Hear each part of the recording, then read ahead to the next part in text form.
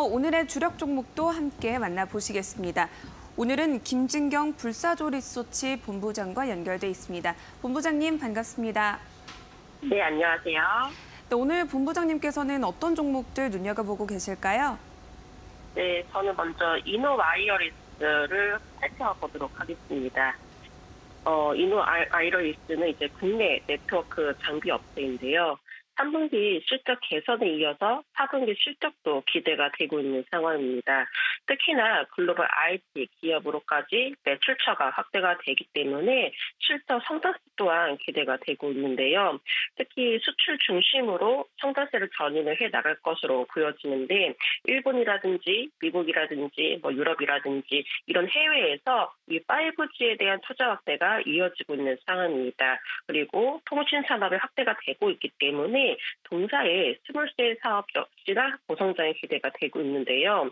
내년의 경우는 28기가헤르츠 투자 이슈로 인해서 이에 따른 수혜가 역시나 기대가 되고 있는 상황이고 특히나 건물 내에서도 이 주파수 특성상 small cell에 대한 장비가 필수적이기 때문입니다. 올해 상반기에는 이 부품 부족으로 인해서 업황에 대한 우려가 있었는데요. 하지만은 하반기 들어서 이 주요 제품에 대한 판매 호조세가 어, 지속이 됐었고 또 원화 가치 자체가 하락이 이어졌기 때문에 환차익이 발생하면서 순이익 또한 증가를 하는 모습 보였습니다. 어, 워낙에 산업 자체가 발달이 되고 있기 때문에 이 필수적인 요소가 바로 통신입니다. 어, 이 통신 산업 자체가 진화가 될수록 오히려 동사의 성장 기대가 높아지지 않을까라고 예상해 볼 수 있겠습니다. 네, 그렇다면 이 다음으로 소개해 주실 종목은 어떻게 될까요? 네, 다음 종목은 CJ CGV 말씀드려보도록 하겠습니다. 어, 지금 이 아바타 어, 흥행에 힘을 입으면서 실적 반등세가 기대가 되고 있는 상황입니다. 역시나 중국에서도 이 아바타 2가 좋은 기록을 보여지고 있다라고 하는데요. 그렇기 때문에 이 분기 기준으로 연속 흑자 행진 가능성도 역시나 기대가 된 상황입니다. 어, 최근 reopening 관련주들이 반등세를 보여주고 있죠. 아무래도 점점 매출이라든지 또 규제들이 풀려나고 있기 때문에 극장을 찾는 관객 수도 많아질 것으로 예상되고 있습니다.